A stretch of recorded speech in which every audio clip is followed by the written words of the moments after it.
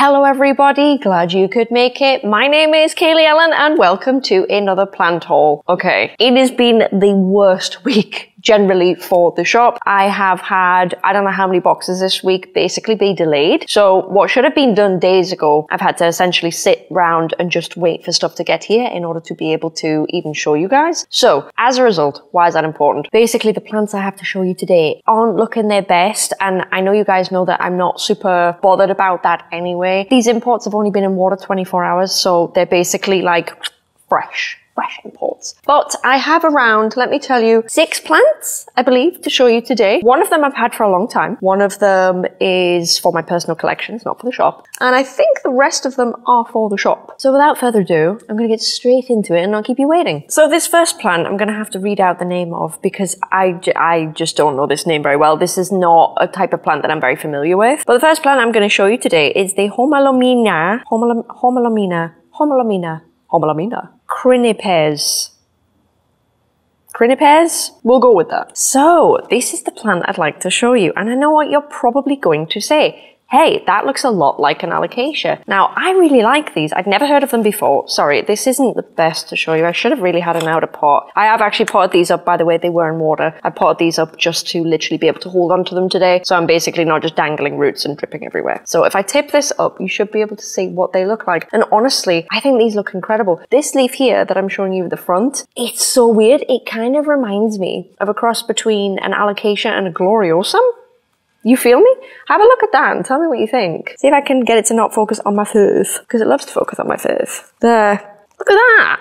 That is just so unusual. Not only that, but it has, I mean, don't know how easily you're going to be able to see because again, it's going to want to focus on moi. I just turn this plant around. You should see the stems. They are kind of rough, like not quite thorned, but they're very, very rough and they have a really cool pattern on them. And I just, I just think they're amazing, to be honest. Saw an opportunity and took it and thought, I'll get something new in. Why not? Why not cause more stress for myself? I do a good old head test here, you can kind of see the size of it. It's very, very nice. Oh, by the way, if you hear like way more background noise than usual, I'm filming today with the unit door open because if I close the unit door, it's going to be about 32 degrees and I cannot function under these lights in 32 degrees. So if you hear a lot of noise, I'm sorry, it's just how it is. So, because this is a new plant that I'm bringing in, obviously I can't really tell you about what it needs, whether it's hardy or not, or anything else. I can just really tell you what I've noticed in the first 24 hours. So basically the shipment that arrived yesterday was a little bit delayed and we're having a huge heat wave here in the UK. So I'm guessing that most of the plants in this box have been subjected to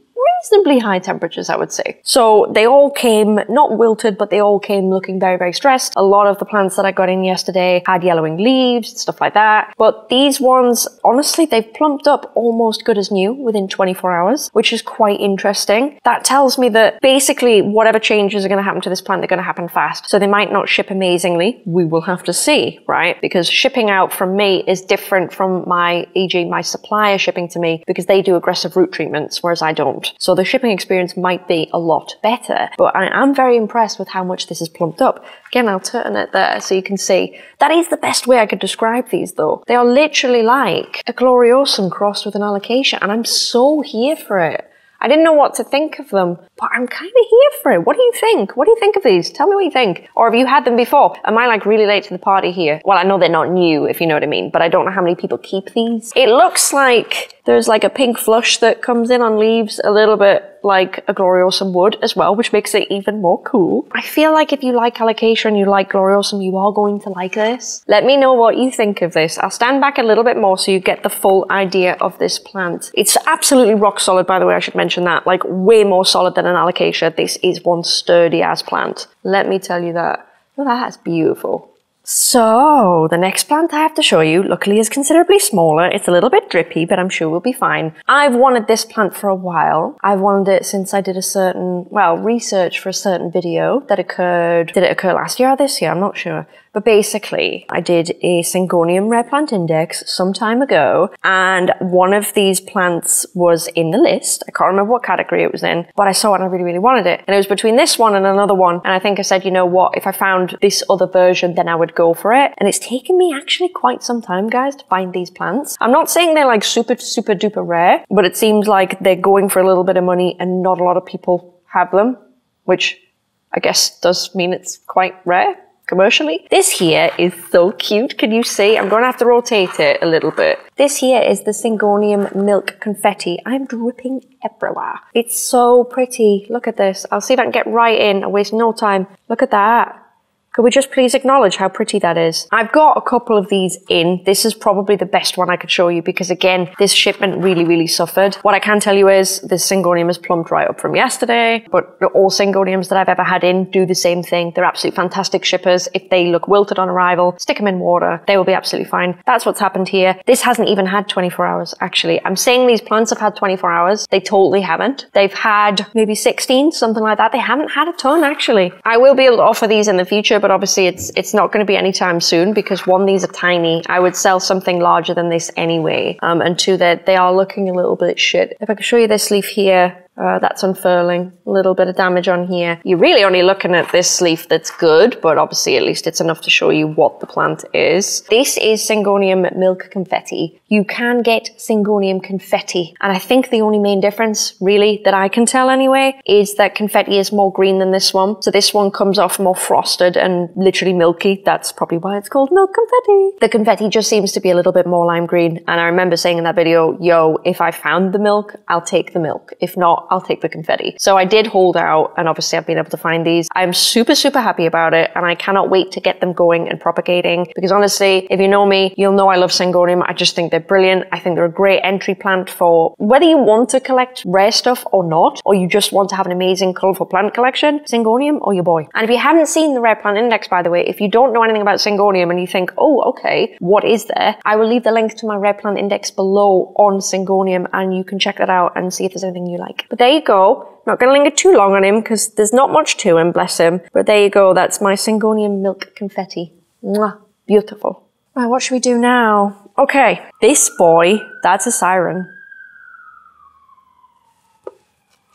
That's going to be really loud too.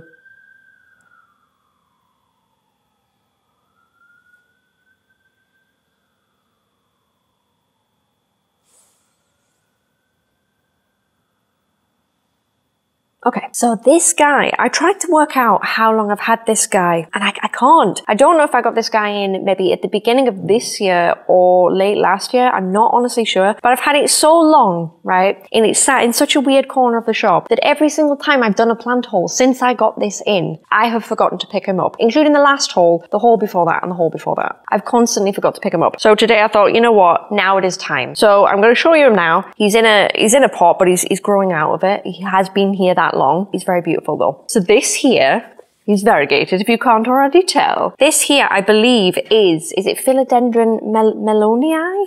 Melonii? Oh, you know what? I can't remember. I'm just not on form today, honestly. I think it's because most of these plants in this video now, they're not things that I've had before, so they are very new to me. Um, did I Google it before? Melin, melanonii, melanonii, melanonii, melanonii. Philodendron melinonii.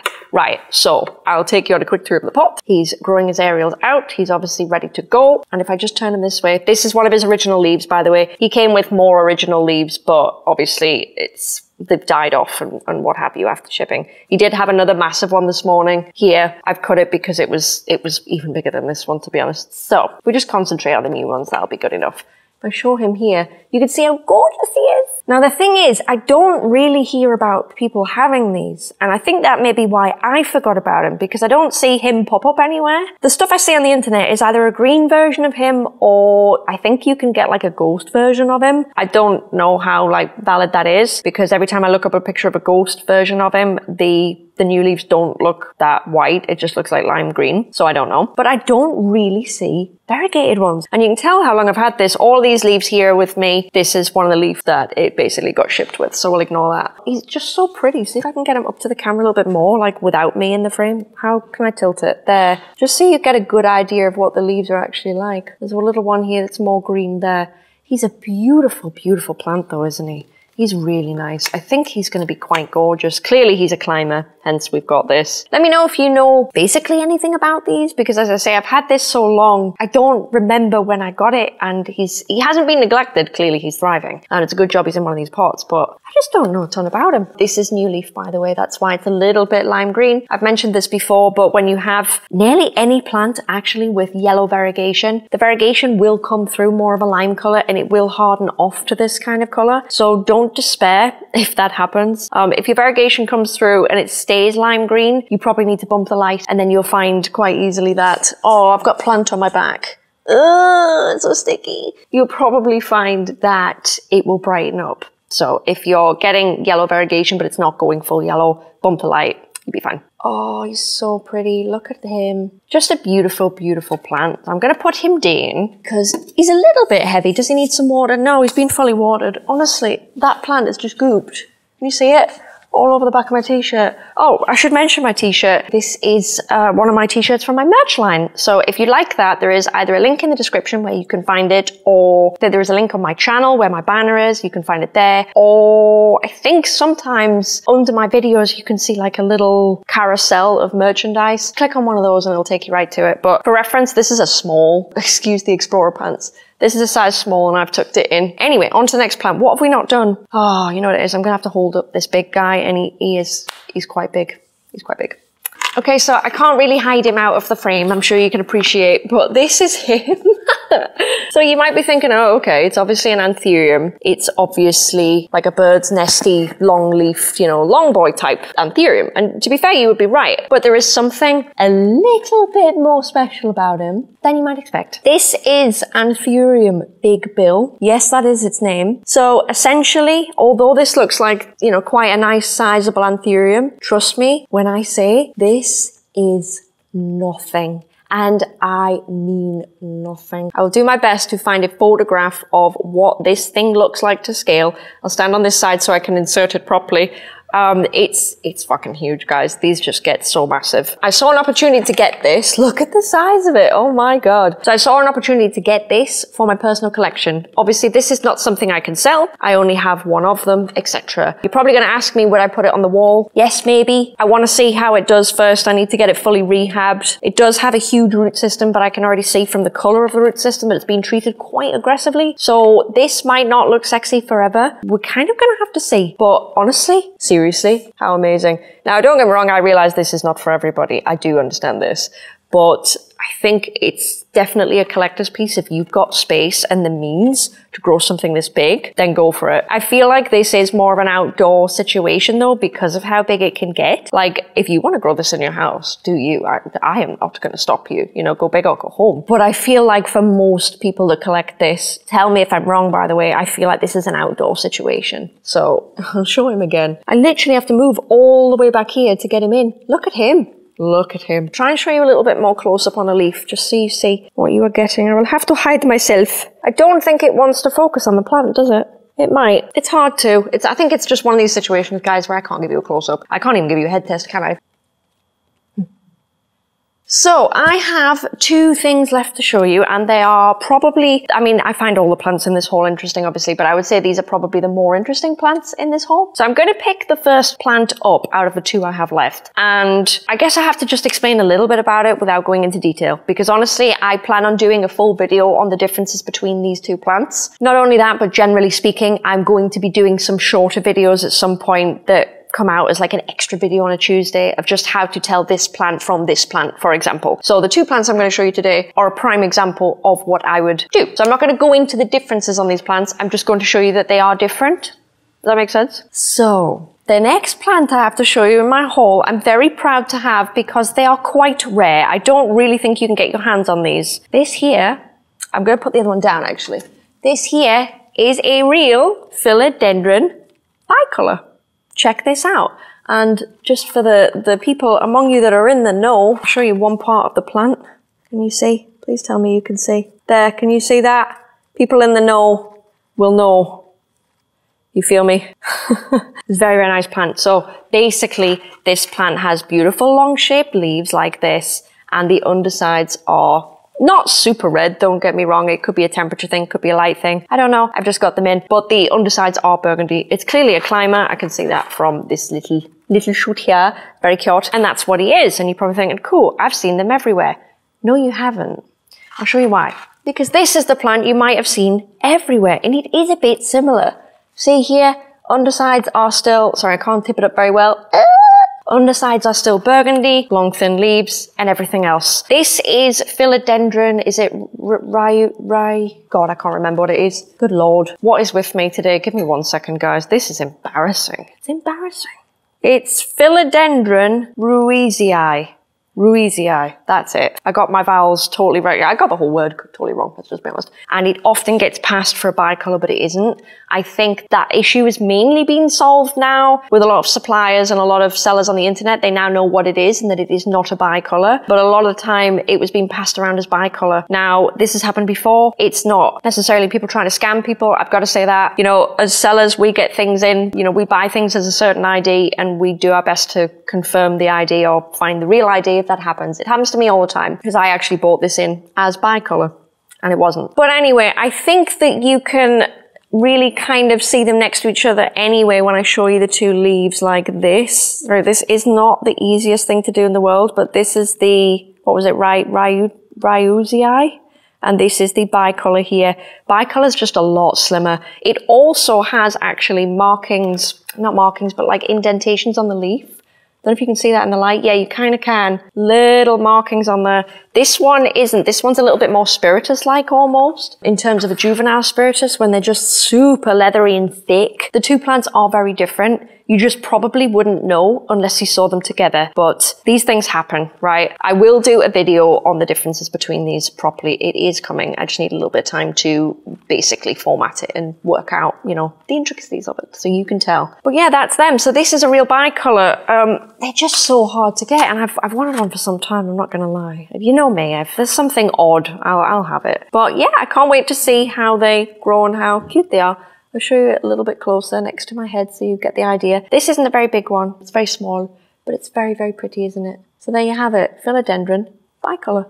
Okay, last plant I have to show you. I'm not going to lie, this leaf is dirty as hell because it has been sprayed with pesticide and everything else. And I haven't cleaned it off, but you will see the point anyway. I can't remember, I honestly can't remember if this went in a wish list or not. It may have, it may not have. I think I would have to basically go and watch that video and find out. If you know, then tell me down below if I talked about it or not. I may have.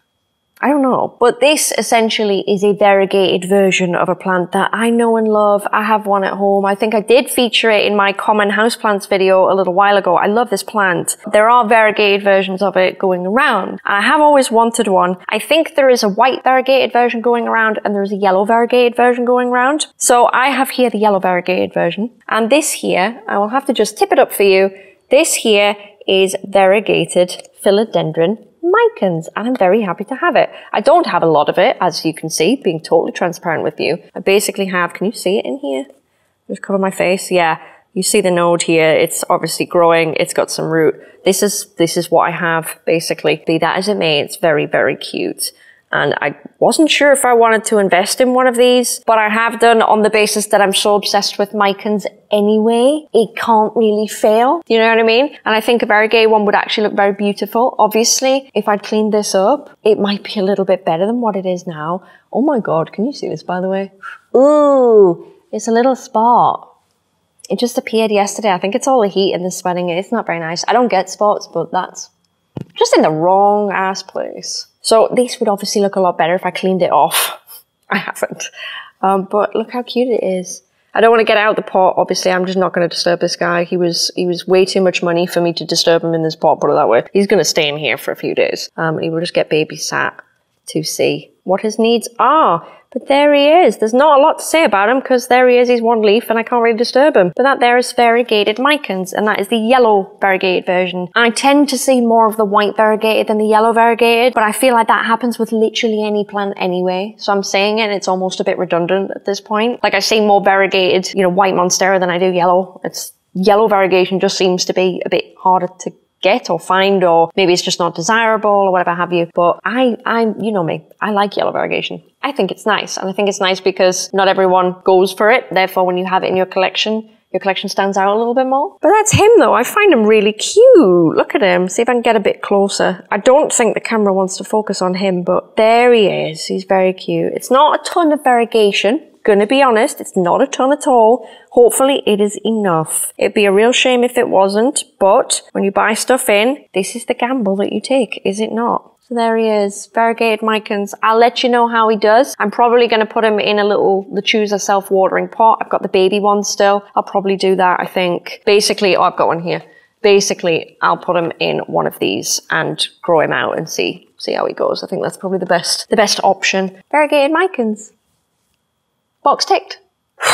It's getting sunnier and it's getting hotter and I'm so pleased that I'm done just in time for it to get too hot. So that was this week's plant haul. Again, it felt quite chaotic. I think it's just because these plants just haven't been here long enough, bar like one plant. So they, they might get worse before they get better. So you know, it's one of those things. I think the Syngonium will be fine. The bicolor, I don't know. I think I've, I've got one more and the leaf went. It was a two leafer and one of the leaves is gone. So it's quite possible that they will show stress of that. The big bill, I feel like is going to be fine because the roots look exactly the same as EG and Anthurium vittarifolium. So I'm expecting them to be okay. I will let you know though. Anyway, if you like this video, please leave a like down below. And if you'd like to see any more of my content, then please feel free to hit that subscribe button. Similarly, there is a little bell icon, usually found on mobile. If you click that, that, then basically what it means is you get a notification every single time I upload a video so you don't miss anything. My merch will be linked either down below or there should be a carousel. And I think that's it for this week's video. I shall see you guys, hopefully in less heat,